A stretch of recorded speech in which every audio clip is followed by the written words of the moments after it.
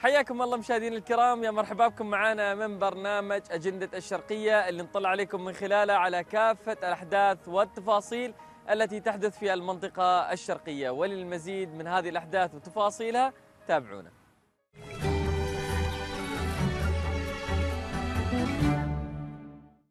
ومن الأحداث الثقافية في المنطقة الشرقية نظمت دائرة الثقافة بالمنطقة الشرقية برنامجا ثقافيا بعنوان مناقشة كتاب.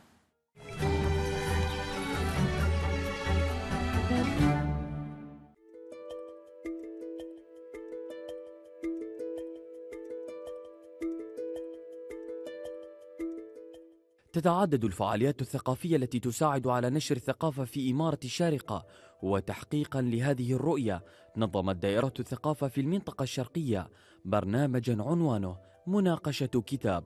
بالتعاون مع معالي الدكتور عبد الله محمد بالحيف النعيمي وزير التغيير المناخي والبيئة سابقا في مسرح جامعة الشارقة فرع كلباء وذلك بحضور الشيخ هيثم بن صقر القاسمي نائب رئيس مكتب سمو الحاكم بمدينة كلباء والشيخ سعيد بن صقر القاسمي نائب رئيس مكتب سمو الحاكم في مدينة خرفكان ومديري المؤسسات الاتحادية والمحلية وعدد من موظفي الدوائر.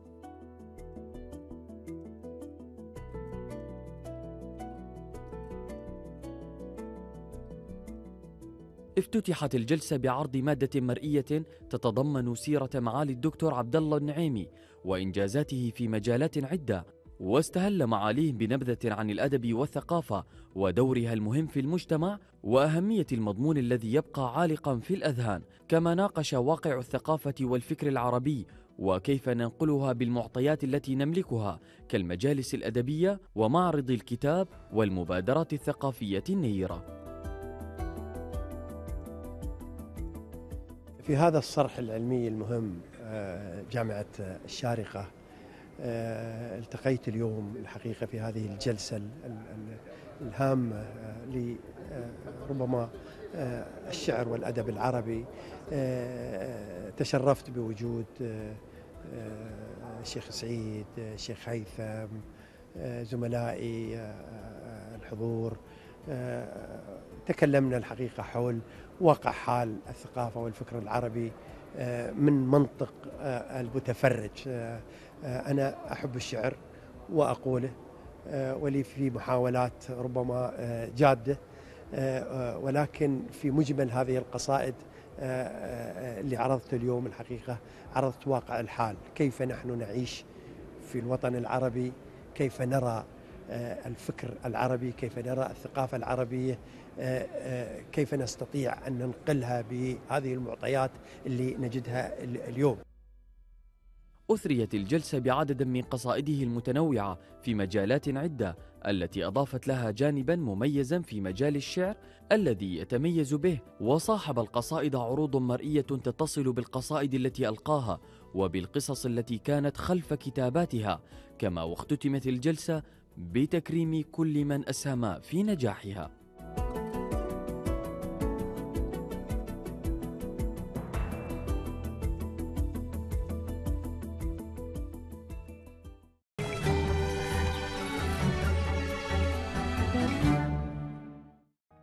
ومن مدينة كلباء وبالتحديد من جامعة الشارقة فرع مدينة كلباء اللي نظمت معرض بعنوان المشاريع الريادية الصغيرة.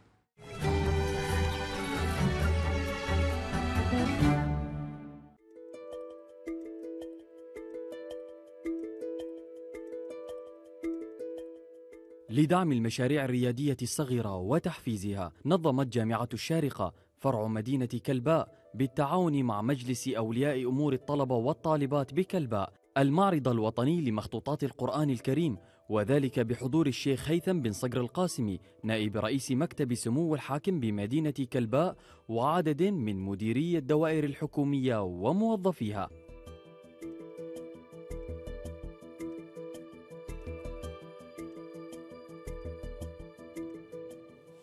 تضمن المعرض مخطوطات ومصاحف قديمة نادرة إلى جانب لوحات فنية قدمتها الفنانة التشكيلية نجاة مكي ركزت من خلالها على عنصر المرأة وعدد من المشاركات المختلفة.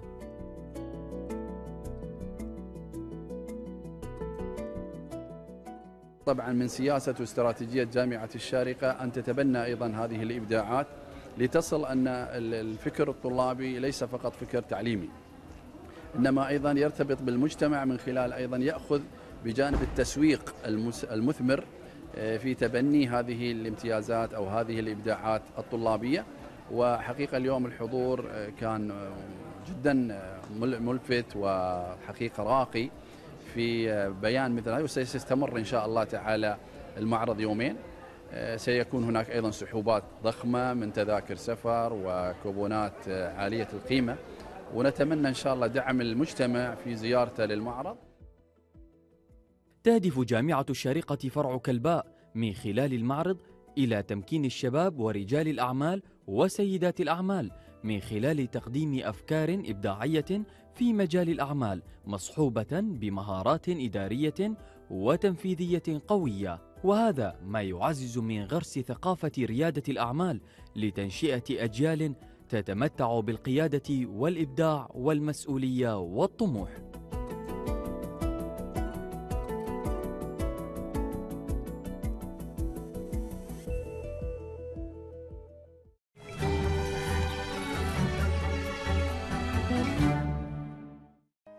ومن مدينة خرفكان وبالتحديد من مدرج خرفكان الذي شهد الدورة الرابعة والعشرين من مهرجان الفنون الإسلامية.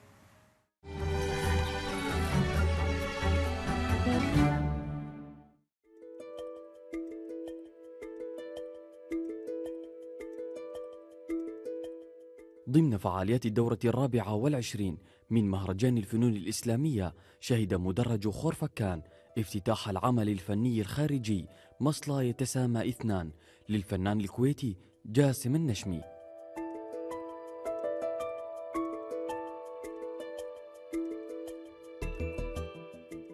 افتتح العمل الفني محمد إبراهيم القصير مدير المهرجان بحضور المستشار الثقافي في القنصلية العامة لدولة الكويت بالإمارات الدكتور عبد الله الكندري.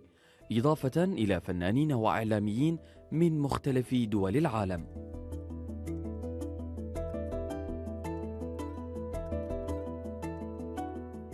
ابتكر الفنان جاسم النشمي لمسة جديدة إذ طبق النظرية الهندسية الموجودة في الزخرفة الإسلامية التقليدية في فضاء ثلاثي الأبعاد يأخذ منطق البناء المعماري إلى حد حرفي وهذا ما يعبر عن مشاعر السلام طبعا جزء أساسي من مشاركتي هو إبراز النقوشات الإسلامية بطريقة معاصرة. فالهدف كان أن آخذ نقشة إسلامية وهذه من أقدم النقشات الدمشقية وأفككها بطريقه معمارية وأرد تصنيعها. عن طريق الحديد. وقبل كانت خشب لأن هالمرة كنا نبي نتألق ونصير أطول وأطول. فتتكلم عن نظرية الذرية اللي هي كل ذرة كل قطعة دائرة قاعد تتكرر وقاعد ترتبط بالقطع الثانية اللي يمها وهاي يمثل المجتمع. إن المجتمع يعتمد على بعض. صنع الفنان جدارا فاصلا يفصل بين الشخص في الداخل وبين من حوله من خلال التلاعب بالضوء والظل. استلهم الجدار القائم من الشبك المستخدم في نوافذ العمارة الإسلامية إذ تمثل الذرة فردا ولا يمكن للفرد أن يعيش وحيدا من دون الأشخاص وهذا يخلق حالة جماعية يعتمد فيها الجميع على الفرد.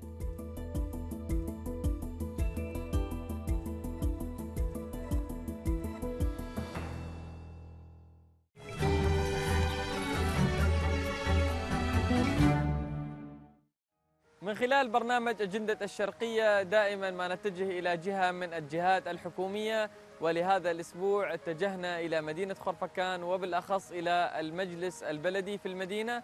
نتعرف على بعض المهام وأيضا أجندة الفعاليات اللي قدمت هذا العام.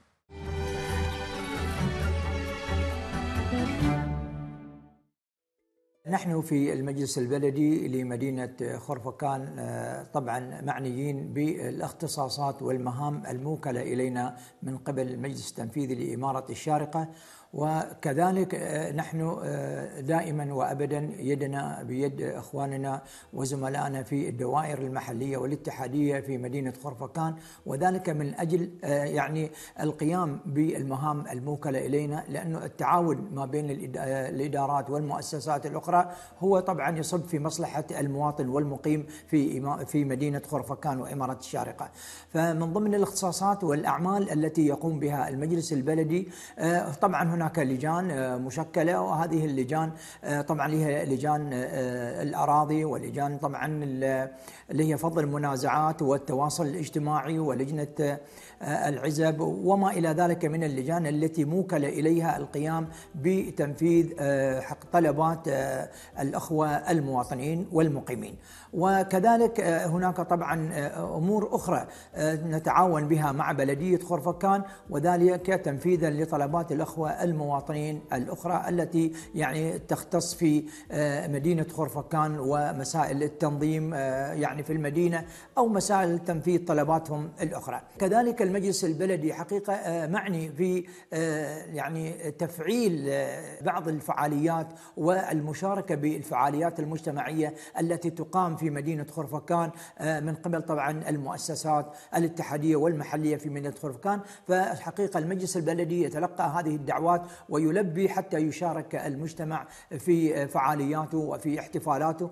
وكذلك المجلس البلدي ينظم بعض الفعاليات حقيقة ومثال على ذلك هو قام بتنظيم احتفالات اليوم الوطني الخمسين لدولة الإمارات العربية المتحدة العزيزة. وطبعا بالتعاون مع هيئة الإنماء السياحي في طبعا في الشارقة والممثلة في مكتب مدينة خرفكان ودائرة الثقافة في مدينة خرفكان وكذلك معهد التراث.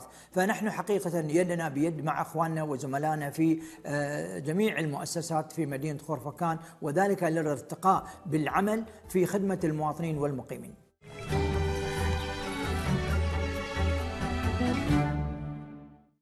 دائما في المنطقة الشرقية نتجه إلى كافة الجهات المحلية والحكومية لنطلع على كافة فعالياتها ونقوم بتغطيتها من أجل نقل كافة هذه التفاصيل عبر برنامج أجندة الشرقية. وللمزيد من هذه الأحداث وتفاصيلها تابعونا في برنامجكم أجندة الشرقية.